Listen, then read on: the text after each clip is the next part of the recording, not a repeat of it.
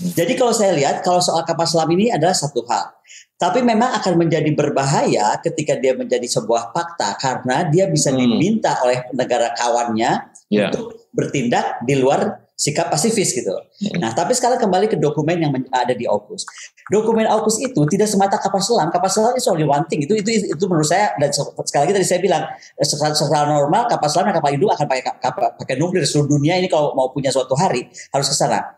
Tapi yang saya khawatirkan pertama dia itu membuat kerjasama pertahanan udara. Kerjasama ta- pertahanan udara itu termasuk penyebaran pesawat.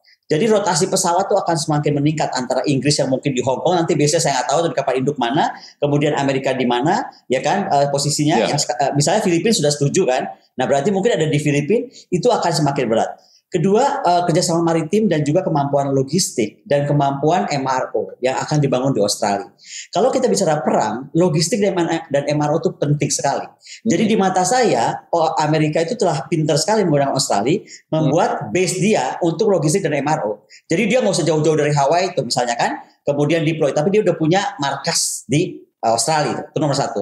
Hmm. Nomor nomor dua, dia ini bicara tentang kemampuan industri senjata terpadu. Jadi selain MRO dan logistik, industri senjata terpadu itu akan dibangun bersama di Australia oleh mereka itu.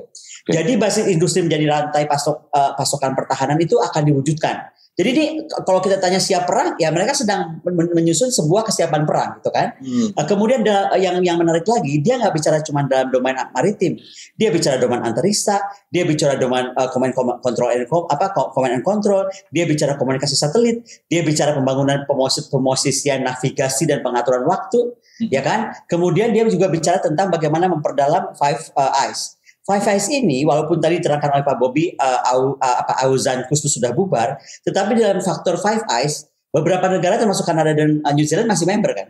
di, Hmm. di, Ya. di Five Eyes itu. Nah, jadi ini bagaimana kemudian kantor pengintaian Amerika Serikat NRO itu sudah menyatakan dengan resmi dia akan memperluas uh, komitmen satelit kooperatif kemampuan luar angkasa Australia dan juga uh, di sini mencakup yaitu menurut saya tadi uh, Five Eyes akan diperkuat artinya secara intelijen itu kita akan semakin di kerumuni gitu. Iya, diawasi. Hmm. Contohnya gini, sebelum ada AUKUS, kita itu sebenarnya dua per tiga, eh, seper, eh, dua per tiga Indonesia itu sudah dalam pantauan radar surveillance Australia untuk maritim.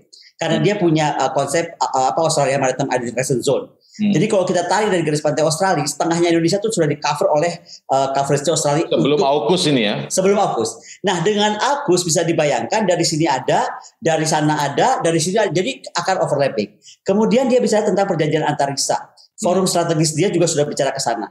Hmm. Yang paling penting dia juga bicara tentang ancaman infodemik. Mereka menyebutnya dalam dalam dokumen mereka itu uh, infodemik. Apa sih infodemik? Hah? Ternyata dia melihat ancaman signifikan di kawasan ini terhadap, terhadap keamanan regional adalah bagaimana disinformasi, informasi dan hoax.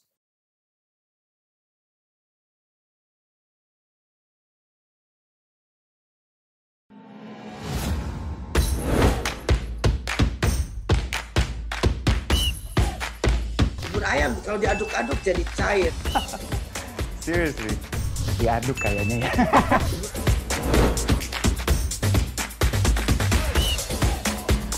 Mau pro luar negeri gimana ya? Ini, ini demi kemajuan bangsa Indonesia.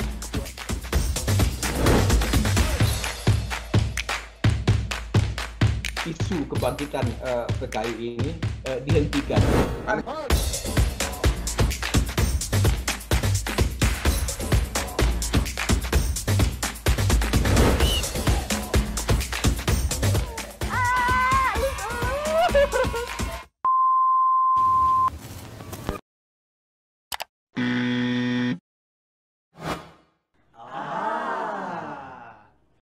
Medcom.id, a part of Media Group News.